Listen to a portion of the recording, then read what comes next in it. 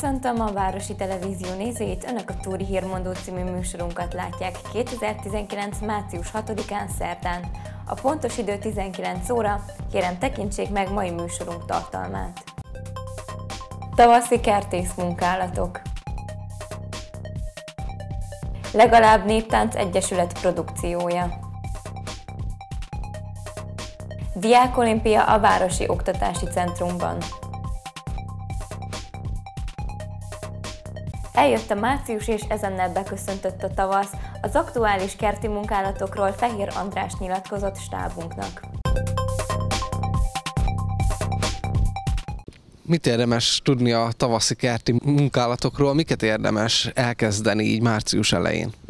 Hát ugye most túl vagyunk már a télen, itt már a tavasz előhírnöke, illetve más erősen benne vagyunk a tavaszba a gyümölcsösben elvégeződő munkák, hogy a ritkítás, a, hát utána meg a ápolás.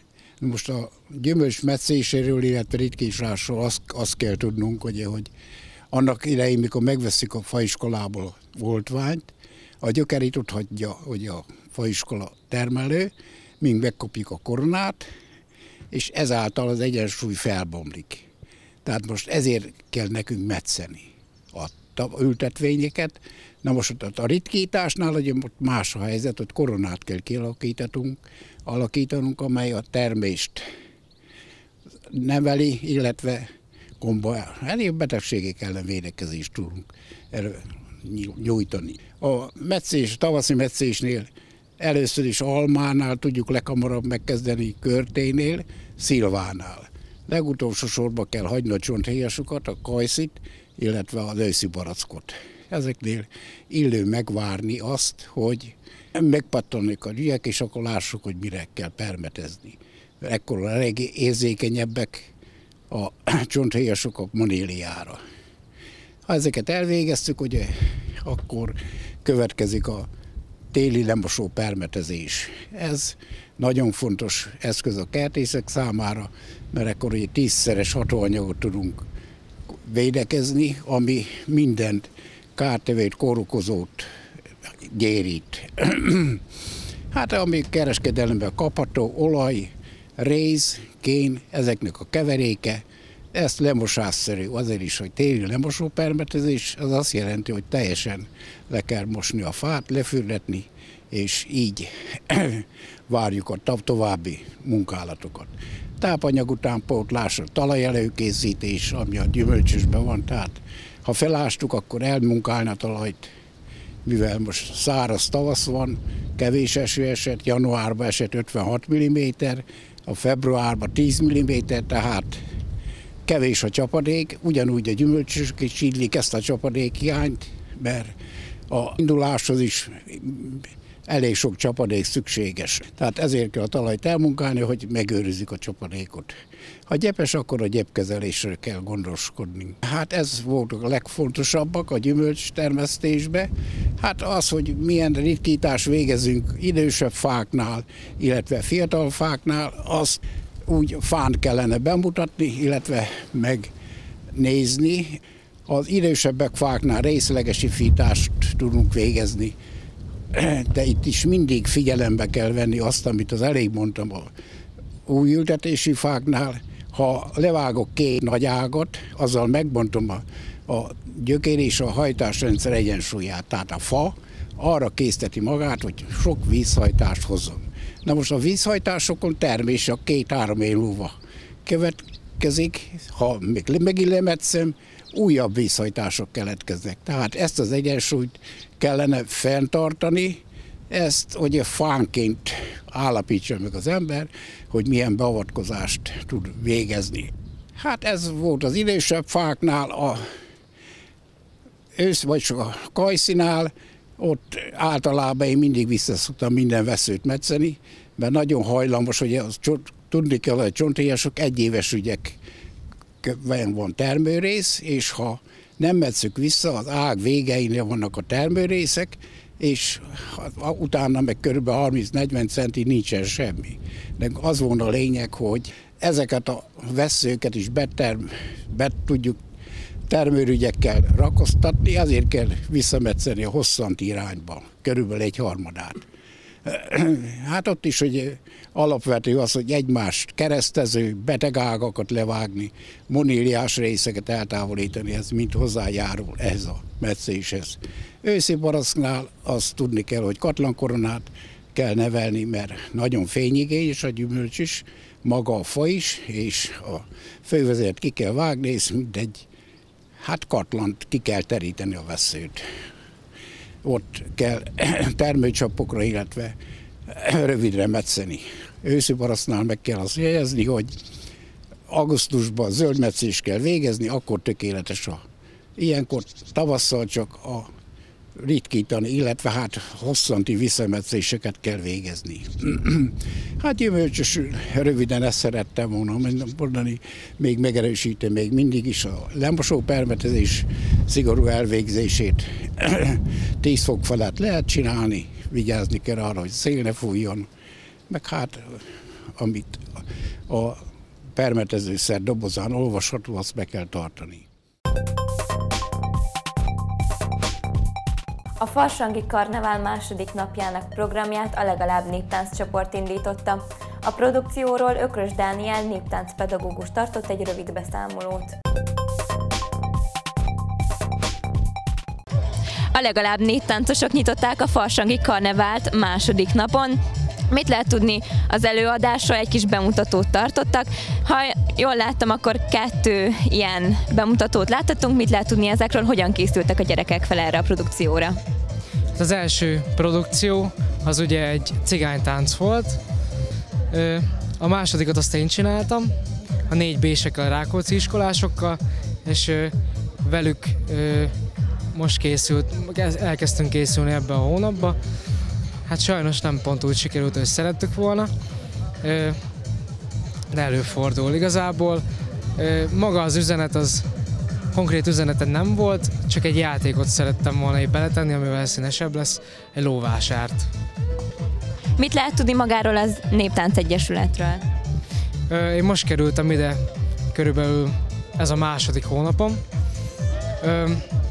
Azt el tudom mondani, hogy sokszínű, az, e- tehát sokszínű maga az Egyesület, mert nagyon sok tanár van, és emiatt nagyon sok a, a, a felfogás, maga a tanítási stílus.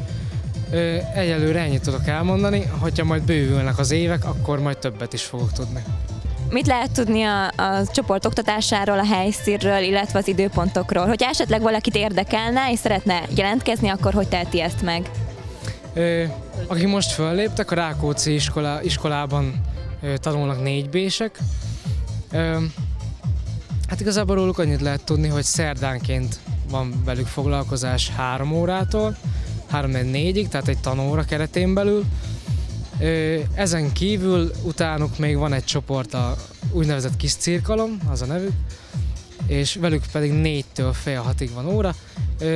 A Rákóczi iskolában megtehetik akár a jelentkezést, vagy a legalábbnál. Tanítok még keddenként Újvárosban, ott roma csoportokat, ott van, van első osztály, harmadik és negyedik. A felső osztályt pedig Mozsár Mónika tanítja. És milyen típusú táncokat lehet tanulni nálatok? Hát jelenleg a, a négy bésekkel, akik felléptek, bodrogközi táncokat tanulunk.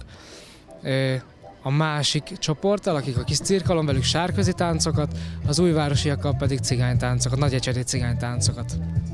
És milyen korosztályban lehet jelentkezni? Hát az újvárosiakhoz igazából az alsós, tehát az alsós csoportokhoz nyilván 6-tól 10 éves korig, ugye az alsó korosztály. A, a négy béseknél pedig ők szintén alsósok, negyedikesek, tehát ott, oda nem, tehát oda külön nem, jelet, nem lehet jelentkezni, viszont a kis cirkalomhoz ö, esetlegesen lehet, viszont ö, inkább majd év elején, tehát majd szeptemberben következő évben. Diákolimpiát tartottak március 2-án délelőtt a Városi Oktatási Centrum sportcsarnokában. A rendezvényen Herceg Zsolt polgármester úr és Boldog István országgyűlési képviselő úr tartott ünnepi köszöntőbeszédet és nyilatkozott stábunknak.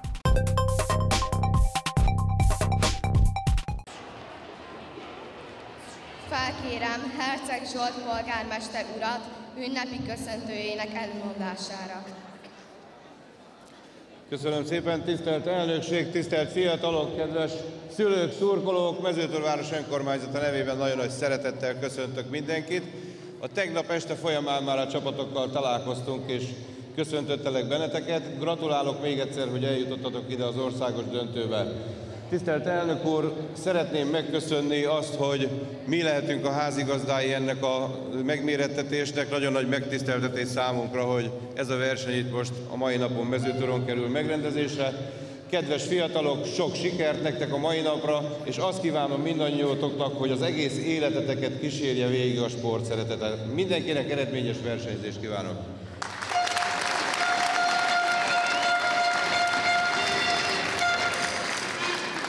Köszönjük szépen polgármester úr méltató gondolatait.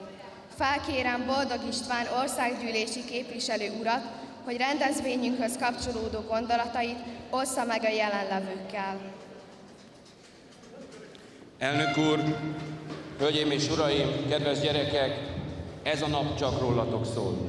Nyírő Józsefet szeretném nektek idézni, a győztesek sohasem adják fel. Akik feladják, sohasem lesznek győztesek. Én bízom abban, hogy azok, akik ma itt versenyeznek, azok soha nem fogják feladni a sportot, és abban is bízom, hogy ma itt nyertek a Diák Olimpián, de ha veszítetek is, pár év múlva látunk benneteket az igazi nagy olimpián, úgy, ahogy az elnök urat is, és aranyéremmel a nyakatokban ezt a nemzetet fogjátok dicsőíteni, magatokat, a szüleiteket és a barátaitokat.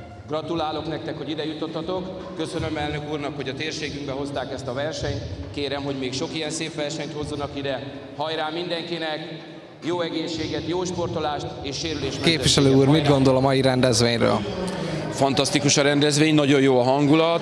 Nagyon köszönöm a Balog Gábornak és a Diák Olimpiai Bizottságnak, hogy idehozta ezt a rendezvényt. Nagyon köszönöm Herceg Zsolt úrnak, hogy helyt adnak a rendezvénynek, és köszönöm a mezőtúri csapatnak, a Református Kollégium csapatának, hogy ilyen fantasztikusul küzdöttek, és itt vannak az országos döntőben, és méltóképpen fognak képviselni bennünket. Biztos vagyok benne, hogy a dobogón fognak végezni, talán a legfelső fokon. Nagyon drukkolok nekik. Még egyszer csak azt tudom mondani mindenkinek, jöjjön ki, nézze meg ezt a fantasztikus versenyt, óriási a hangulat, és hát bízom benne, hogy sok ilyen rendezvény lesz még itt.